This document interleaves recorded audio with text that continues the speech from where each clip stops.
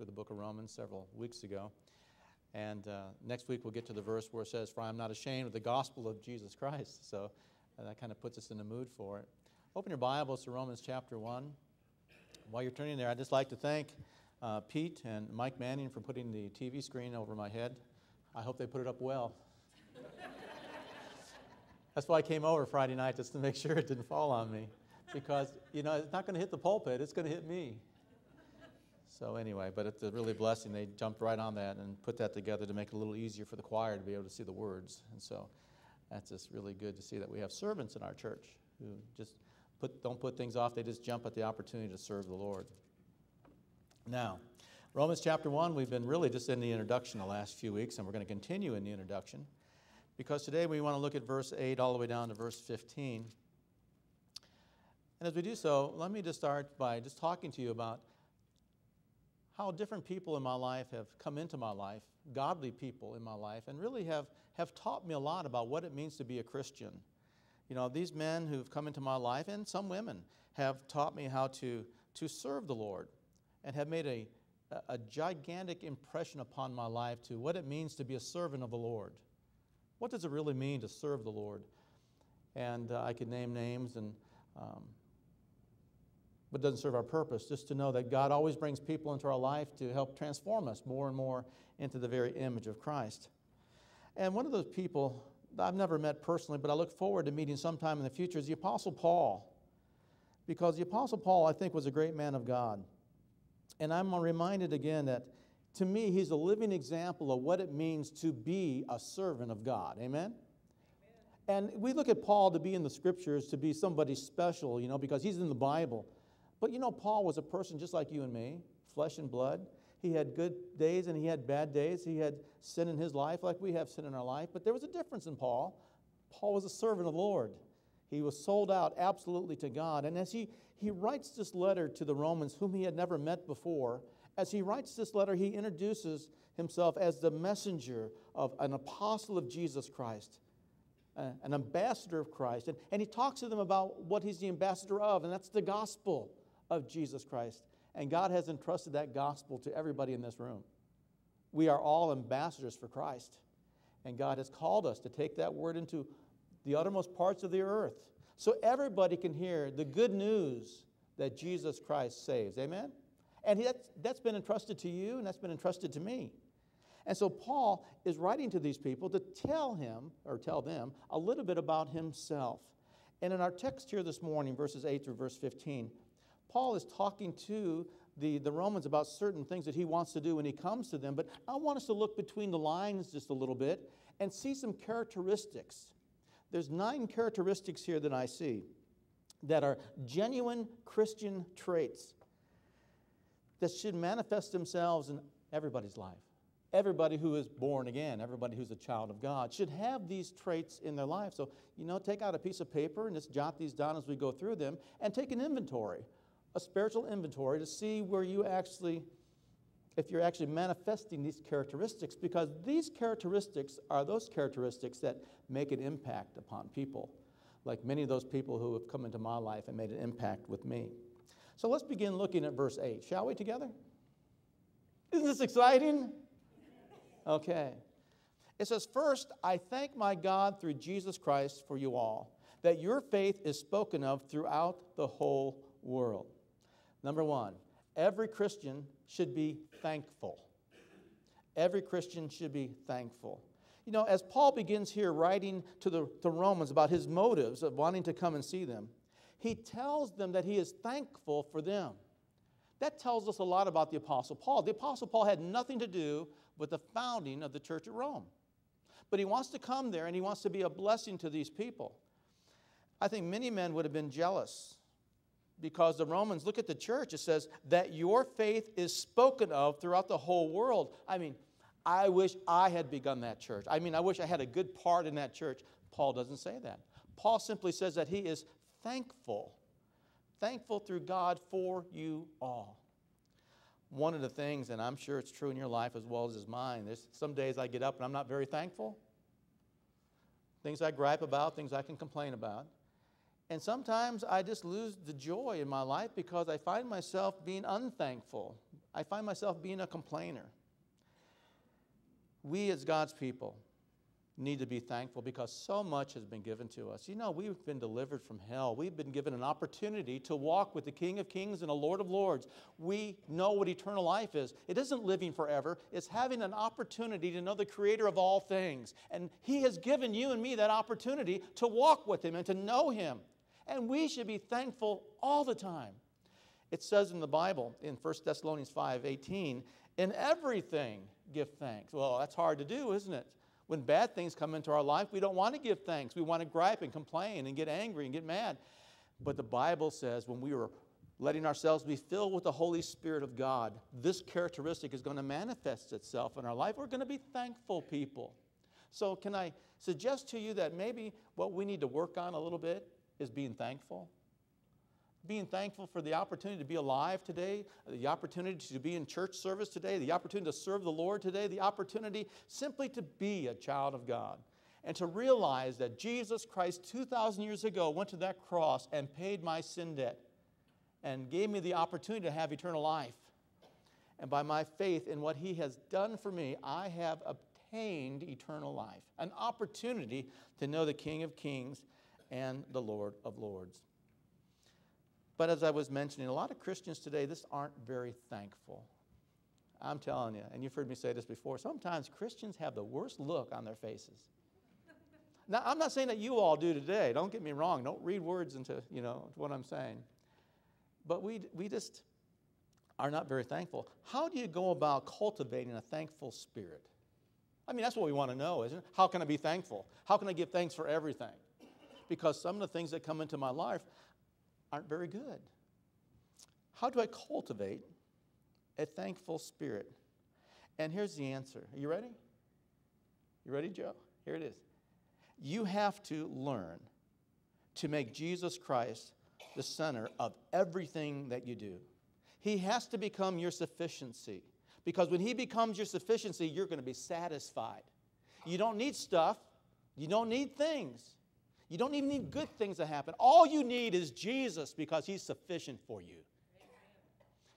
And very few Christians formulate their life around the person of Jesus Christ. He has to become the center of your life.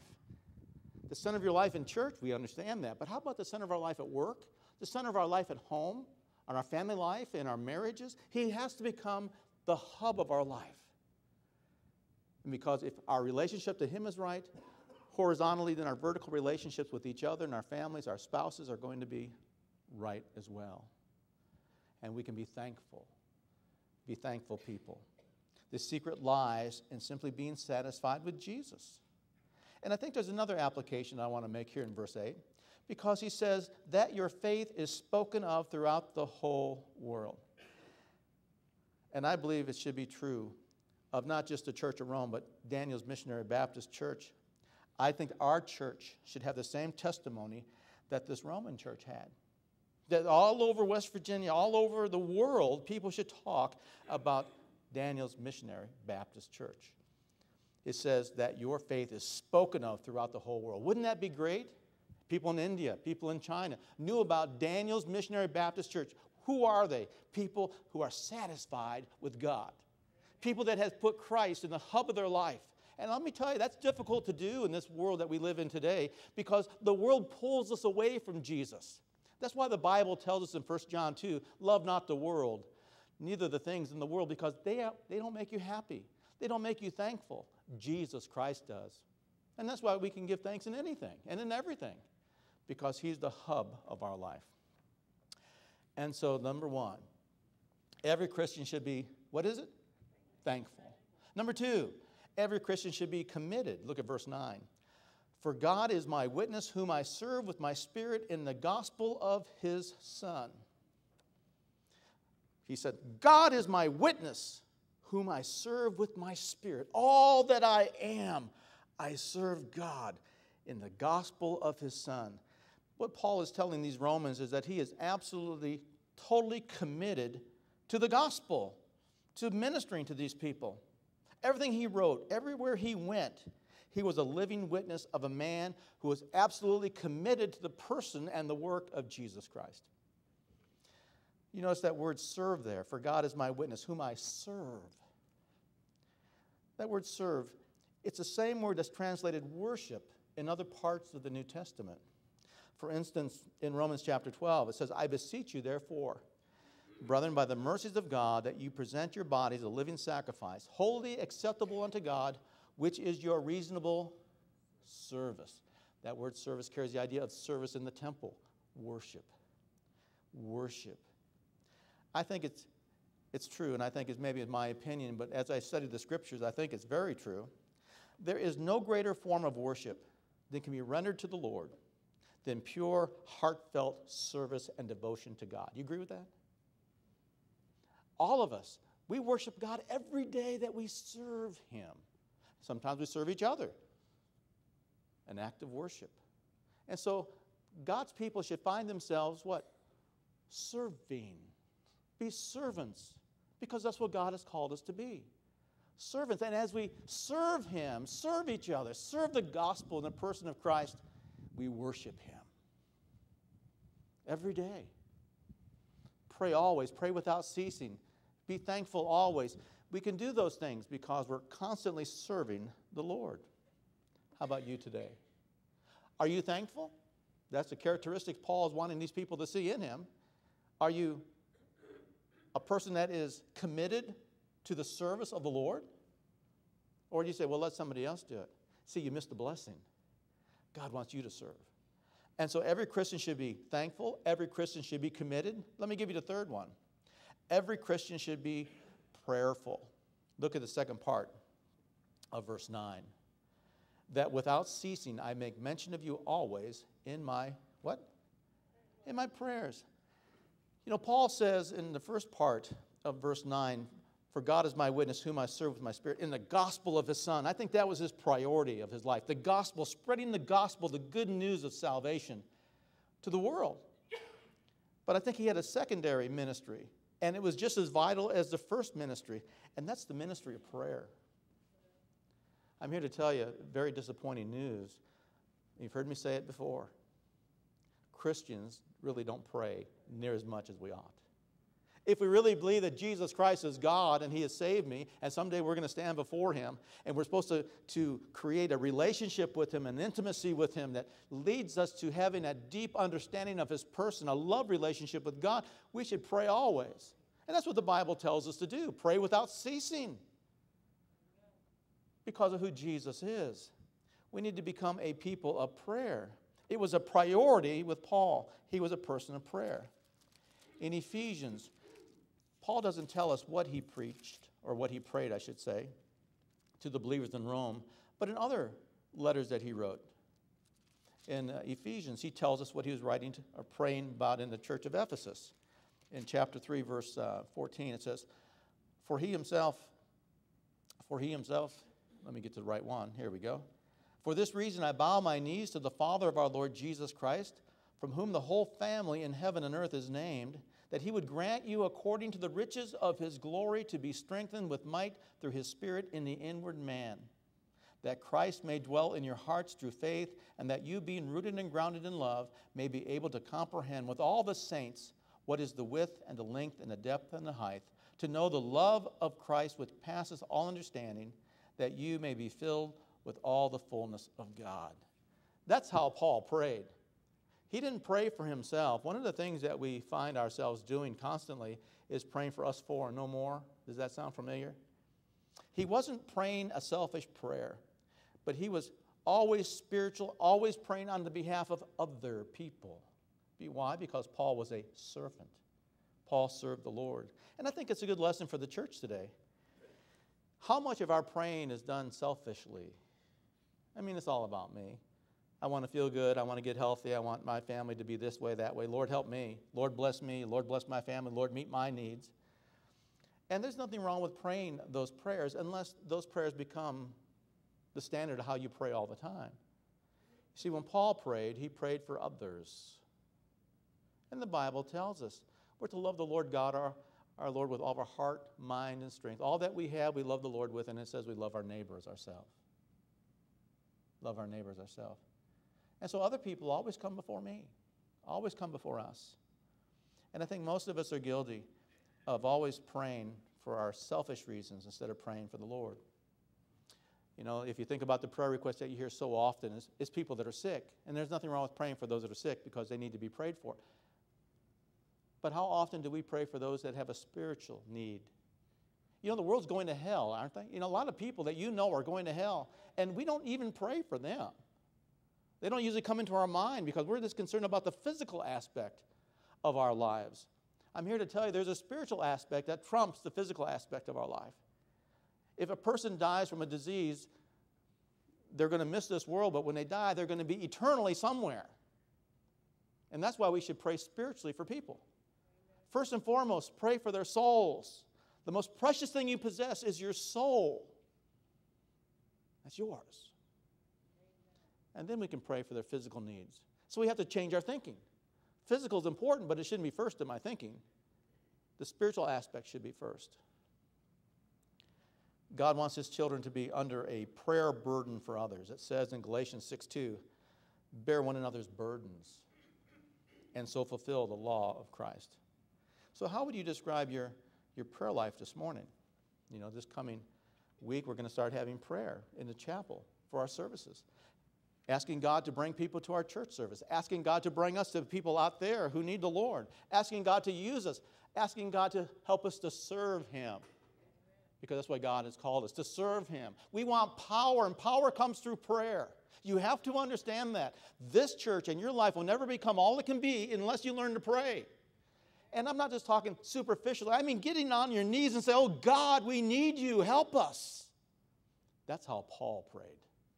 And did God use him? Oh, God used him. You bet he did. We can all improve, but you just have to walk with God. And so Every Christian should be thankful. Every Christian should be committed. Every Christian should be prayerful. And the fourth one, every Christian should be surrendered. Look at verse 10. Making request, if by some means now at last I may find a way in the will of God to come to you. You know, Paul didn't stop with praying for other people, but he prayed that he might be the instrument of God in answering those prayers. You know, God used me, God sent me.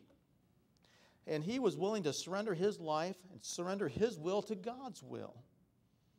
And that's what he says here that I may find a way in the will of God to come to you. It's not my will that I want done, it's your will, God. I, I want your will always to trump my will. It's not about me, it's never been about me, it's always been about you. And I want you to be glorified in my life. I want to serve you. I want to focus on you. I want to be thankful. I want to be committed to you. I want to be prayerful. And I want to be absolutely surrendered to you and to your will. You know, when you become a surrendered child of God, your whole agenda in life is going to change. Because it's not about you anymore. It's about you seeking God's will for that day, that moment in time, that whatever you do, you please Him. Because it's not about what pleases me, it's what, brings honor and glory to the one that I serve. I want to be a person that's surrendered to God because I want to bring honor and glory to God. And that's the heart of what Jesus had. We need to have the heart of Christ. Paul had that. Paul understood that. That's why God used Paul like that, because he was a person that was surrendered to God. D.L. Moody once said, The world has yet to see what God can do with a man fully consecrated to Him. He said, By God's help, I will be that man. When was the last time you prayed a prayer like that? He was D.L. Moody. D.L. Moody was a shoe cobbler. Wasn't a good speaker. Destroyed the King's English like I do. But you know what? God used him. Why? Because he was willing to be used. He was willing to surrender himself totally to God's will. Imagine what the Lord could do with a church filled with people who were totally sold out to the will of God. We have not because we ask not. And so Paul tells us and shares with us these characteristics that should manifest themselves in our life truthfulness. We need to be thankful. We need to be committed. We need to be prayerful. We need to be surrendered. We need to be Any others? The fifth one. Anybody know what it is? Next verse, verse 11. For I long to see you that I may impart to you some spiritual gifts so that you may be established. Every Christian should be usable. Should be usable. I believe in the every active member plan. And by that I mean if you're a member of the church or if you attend here, there ought to be other things that you're doing in the church, not just warming the seat that you're sitting in today. You're serving God. What can I do to serve the Lord? I want to be usable. I don't want to be sitting on my, my backside when Jesus Christ comes. I want to be busy serving Him because it's an act of worship. You know, Paul is revealing his heart to these Romans that had never met him before. And he says, you know, he wants to come to Rome and he wants to, he wants to give them some spiritual blessing that he may be established or they may be strengthened. Now, Paul's not going to give them a spiritual gift. Of course, spiritual gifts come from the Spirit of God. The Spirit of God gives as he desires to give. But what Paul's talking about here is that he wants to come to this church and use the gifts that God has given to him to edify them, to encourage them. And just the opposite, he wants their gifts to encourage him. Nobody is an island unto themselves. Nobody. We all need each other. That's why the church is an organism made up of many members, but one body. There's no such thing as a Lone Ranger Christian. God has called us to serve together. And so Paul is saying here that he wa- he's wanting to come to them and to be used of the Lord. However, God wants to use him that they might be established, they might be strengthened. And I think there's a great need today in our churches, in our church community, for people to fulfill not their own agenda, but the agenda of each other. How I can serve you better. And by serving you, I serve the Lord. Can you honestly say that your life is a vessel that God can use? Paul wrote to Timothy in 2 Timothy 2, he says, Therefore, if anyone cleanses himself from the latter, which is a list of sins, he will be a vessel of honor, sanctified and useful for the master, prepared for every good work. I want to be prepared for every good work, don't you? And not just because I'm the pastor of the church, but because I'm a child of God. You know, when we stand before God someday, it's not going to matter what you are, what you do, it's how you've served Him, how you've used the gifts that God has given to you for His glory because it's always, always, always about Him. And so every Christian needs to be usable. Look at verse 12 for the next one. Number six, every Christian should be humble. That is, that I may be encouraged together with you by the mutual faith both of you and me. You know, I, you've known pastors, haven't you? Walk around like, hey, I'm the pastor and you're not. You know, they have a spirit of holy. You know, you go, you have that class, don't you, at ABC? You have that class where you learn how to be holy. You guys don't have that class there. The word you do have that class. How, how do people pick that up, that aspect up? You know. But I have seen pastors, and, and I hope I never become that because I'm just like you folks. The difference between you and me that I have certain gifts that God has called, God has used me for these things, and you have gifts too. And so we use our gifts for His glory. You just happen to see mine on Sunday mornings. But I'm no different than you guys. I'm no different. I'm no holier than anybody else. And Paul's trying to say that. He's no different than anybody else. He's just using the gifts God has given to him to edify those people, to strengthen those people, and to glorify God. Because to Paul, that's really what it was all about. But I have known so many pastors, and I'm not preaching against pastors, don't get me wrong, because I are one. But they, they carry themselves, they carry themselves, hi, I'm holier than you. You may kiss the ring. I need to get one of those, you know? But, and I know, I'm not sure why. But I've, I've known people like that. And, and I never want to be that way. I just want to be who I am and serve the Lord. Holiness is all of us. The ground's level at the foot of the cross. Amen? And so Paul is wanting to be ministered to by these people. He's wanting to be encouraged by these people, by the mutual faith, both of you and me. Oh, the Bible says, Therefore, let him who thinks he stands take heed lest he fall. You know, I want you to understand that as, as God's people, we need to be humble. And we simply need to thank God for using us because I don't know about you, but I looked in my mirror this morning. I saw this guy looking back at him. It's a little scary because I know who he is, I know how he thinks, I can get into that guy. You know, I know his very workings of his mind. And sometimes I wonder why in the world would God use that fellow in that mirror? But God does.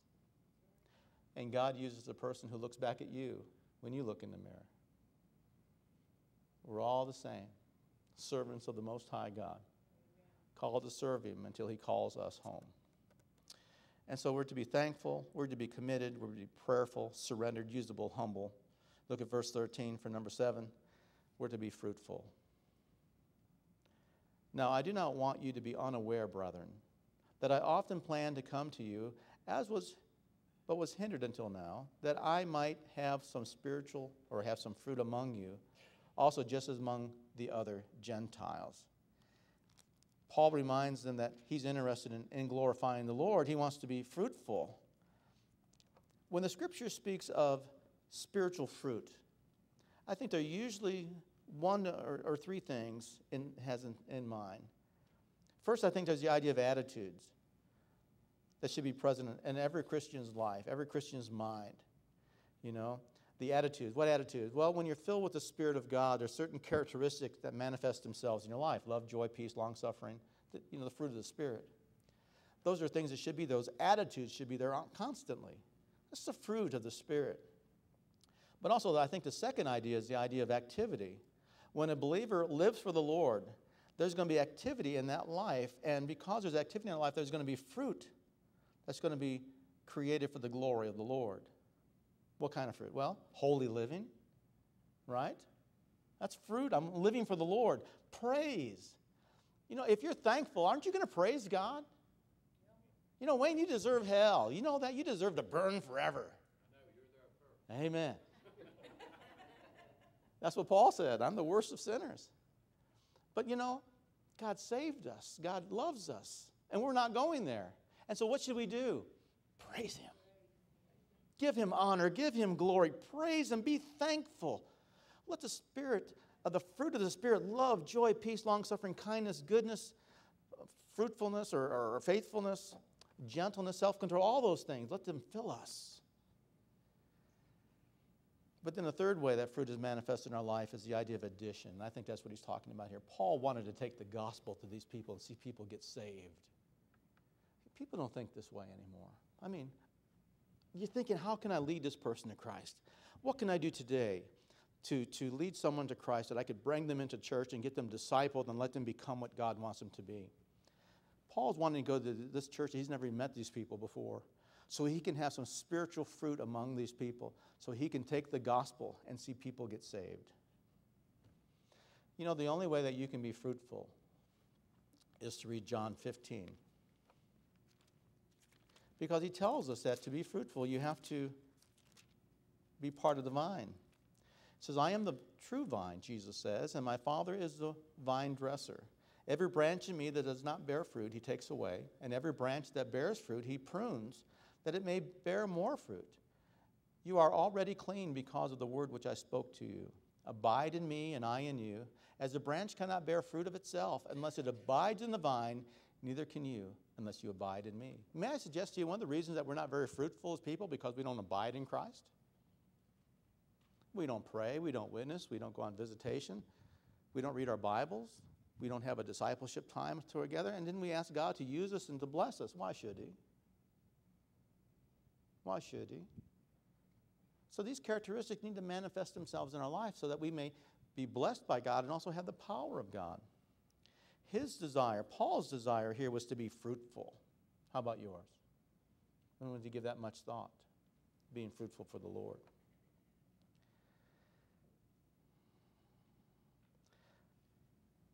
So when you want to bear fruit, you have to realize that you have to abide in the vine. And you do that through Bible study, through prayer, through praying together, to, you know, cultivating that vertical relationship with God. You're spending time with Him, you're getting to know Him.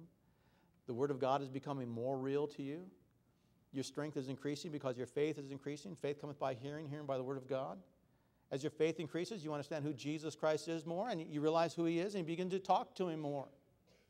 And you begin to be thankful in every situation because you realize that your God is greater than anything that can come into your life. Your God is God.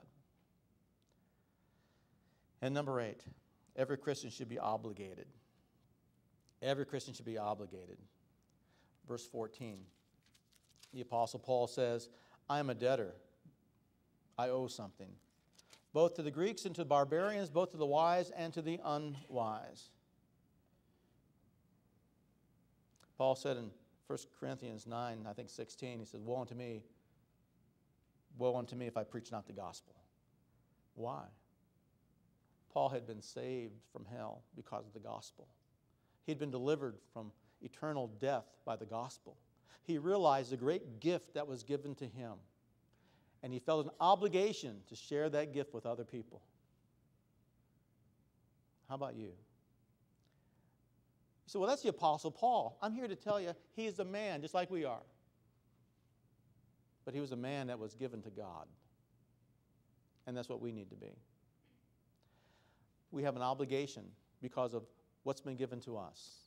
We need to give that to others. You see, you're the mouth of the Lord here in this world because Jesus isn't here physically in this world right now, but you are.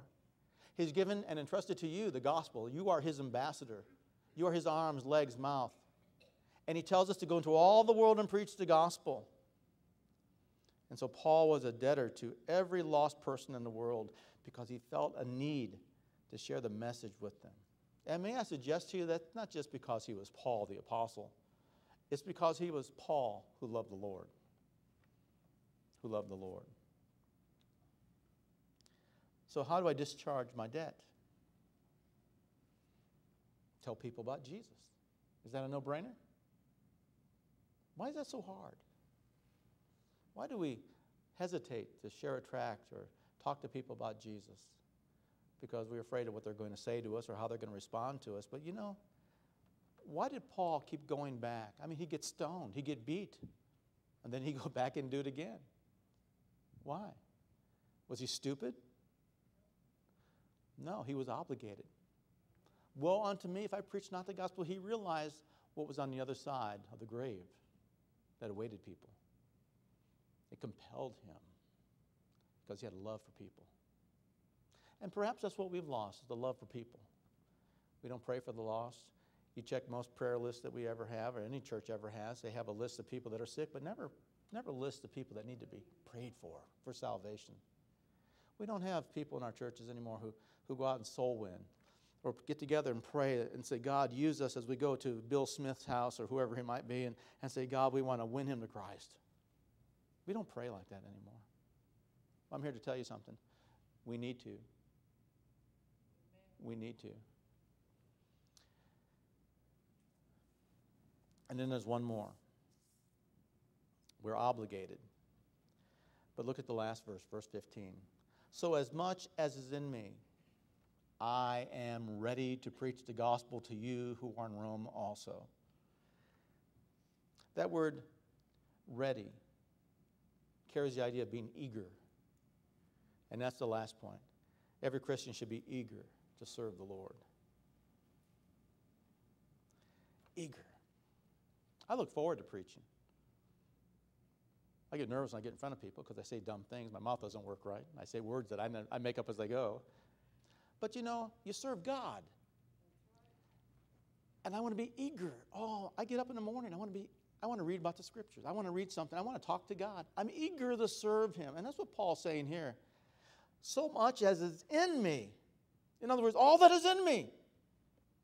I'm ready. I'm eager to preach the gospel to you that are in Rome also. Why? He's compelled, he's obligated.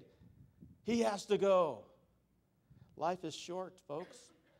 You only have so many years, so many months for some of us, maybe days. How are we serving Him?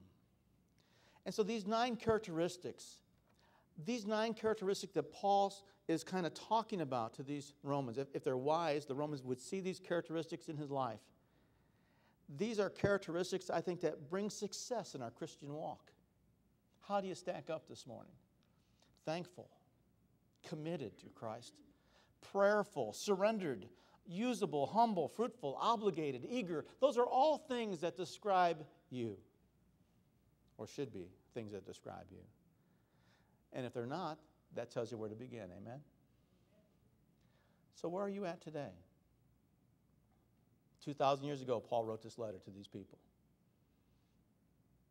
These characteristics matter in the work of God. We need to be like D.L. Moody. I want to be totally consecrated to God, totally sold out, surrendered, absolutely given over to Him, and say, with God's help, I will be that man. I will be that woman. I will be used of God. I won't let Satan deter me. I won't let him sidetrack me. I'm going to focus my attention on what's important, and that's Jesus Christ, because someday I'm going to stand in his presence. And I want to be ready. I want him to say, Well done, my good and faithful servant, because you were a good servant of mine. We served him well. Let's pray. Father God, we thank you this morning for your word. We thank you, Father, for the